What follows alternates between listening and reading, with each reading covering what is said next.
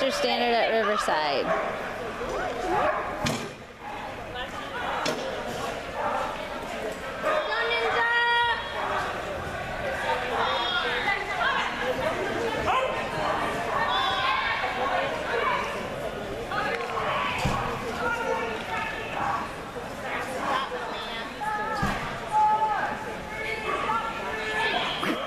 Oh.